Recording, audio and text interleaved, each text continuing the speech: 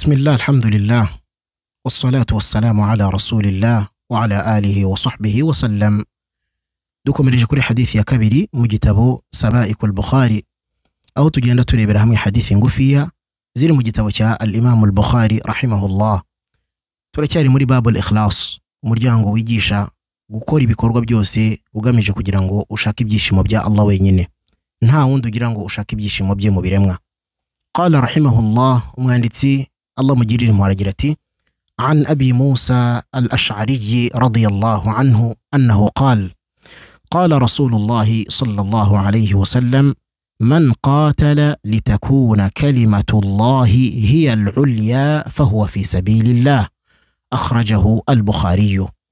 حديثي يترك كري أبو موسى الأشعري الله من شمره أرتبيرتي إنما إيمان محمد صلى الله عليه وسلم يرفزتي man qatala litakuna kalimatu llahi hiya alulya fahuwa fi sabilillah.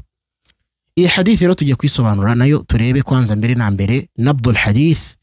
Mbere ya byose kwanza ese hari impamvu yo kubaho kw'iyi hadithi twavuze ko nituza twiga hadithi tuza tusobanura ibintu bigera kuri bibiri. Cya mbere nabdul hadith. Niba hari sababu lurud impamvu yayo impamvu yatumye intumwa y'imana yivuga tuzatubanza tuyigaragaze icya kabiri hidayatul hadith ni iki hadithi twigisha hari impamvu y'iyi hadith nk'uko shekhe yahangaha mu gitabo hafidhahullah allah murinde yabigaragaje aravuga ati jaa rajulun ila nabiyi sallallahu alayhi wasallama fasa'alahu ku gihe cy'intumwa y'imana muhammad sallallahu alayhi wasallama haje umuntu arangije abaza intumwa y'imana arayibaza ati ya rasulallah yewe ntumwa y'imana mal qitalu fi sabilillah ese kurwana mu nzira y'imana ni iki kurwana mu nzira y'imana ni ichi.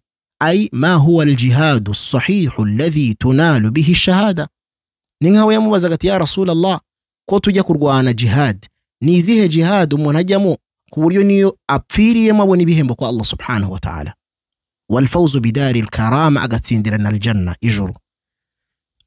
Kubera yuko muri twe abantu tujya mu ntambara tugenda turi mu bice bitandukanye.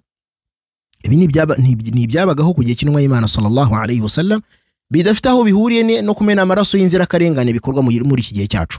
No guturitsa ibisasu mu kwica abana b'inzirakarengane abana batoya n'abasaza n'abakecuru. Kujya mu masoko guturitsa amazu ibyo byo ni ibindi bingibi byo kuri gihe ni ibintu bikorwa ku nyungu z'ababikora ku giti cyabo. Ntaho bihuriye n'ubuyisilamu aha turi kuvuga ku byabaga ku gihe cy'intumwa y'imana sallallahu alayhi wasallam uyu musahaba yaraje abaza mutume sallallahu alayhi wasallam kuko abona abantu bajya kurwana bakajya mu ntambara bakajya muri jihad ariko arashaka kumenya se niyihe ntambara bajyamo yujuje ibisabwa?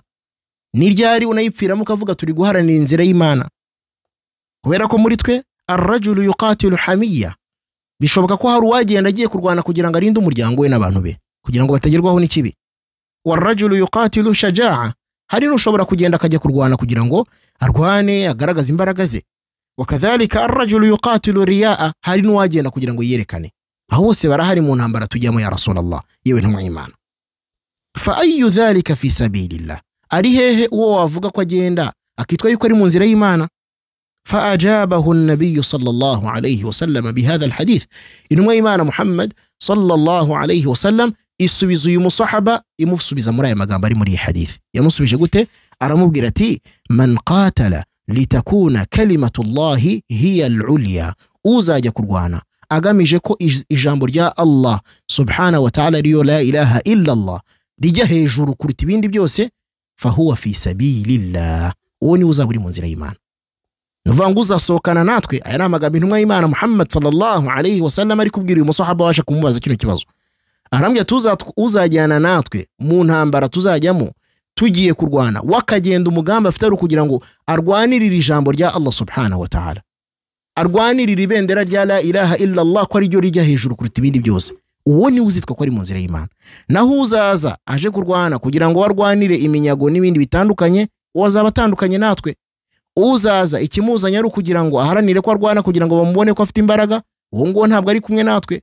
Uzaza kugira ngo arwane kugira ngo arinde umuryango we ntugerweho n'ikibi uwo ari kubye ninde uzitwa ko ari kumwe natwe ari kurwanirira uwisilamu man qatala litakuna kalimatu llahi hiya uwo nguwo uzaza kugira ngo aharanire ko izina la ilaha illa allah rijya hejuru y'ibindi byose uwo niwe uzitwa yuko ari mu nzira y'imana intumwa y'imana rero sallallahu alayhi wasallam iti man qatala لتكون كلمة الله هي العليا أي من كان غايته ونيته من قتاله إعلاء كلمة الله ونشر كلمة التوحيد uzaza akajya kurwana umugambi afite n'igitumye asohoka akajya muri iyo ntambara ari ukugira ngo ijambo rya Allah ndetse na tawhid itsinde ibindi byose ndetse aharanira yuko Mwenyezi Mungu Subhanahu wa Ta'ala ariyo mana y'ukuri فهو في سبيل الله أي فهذا القتال هو في سبيل الله وصاحبه هو المجاهد الحقيقي uzaza rero muri ubwo buryo aje guharanira ijambo rya Allah yuko ari ryo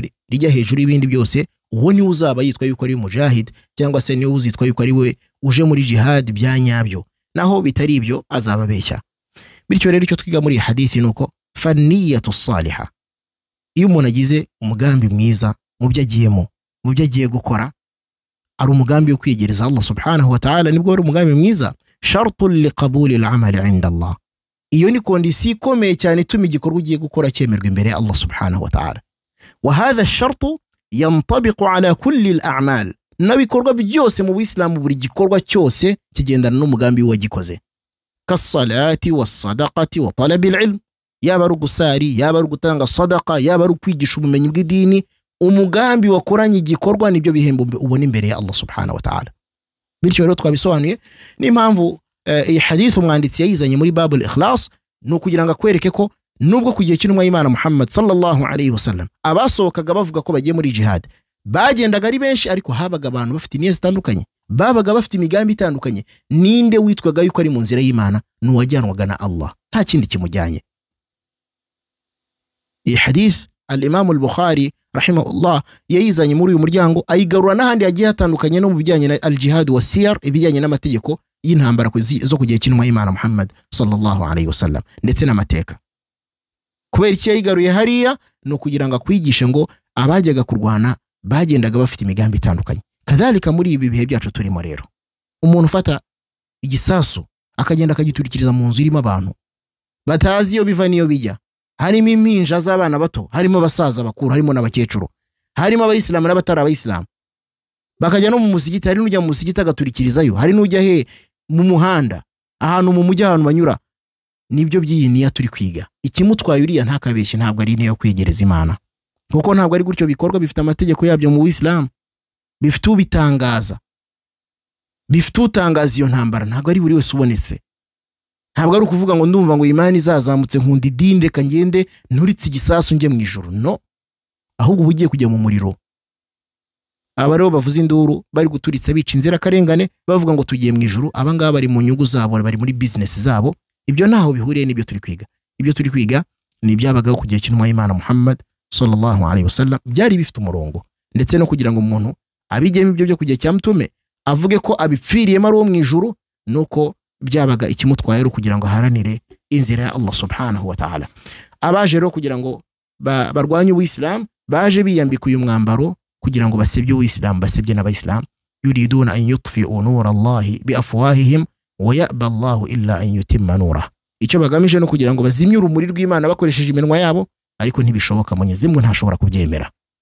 Ahubwo azakomeza guharanira kurinda iyi dini ya Allah subhanahu wa ta'ala. Iyi dini ye azakomeza kuyirinda. Iyi hadithi rero yaje muri babul ikhlas kugira ngo ikwereke ko igikorwa umugambi ugikoranye niwo Allah subhanahu wa ta'ala aguhemba.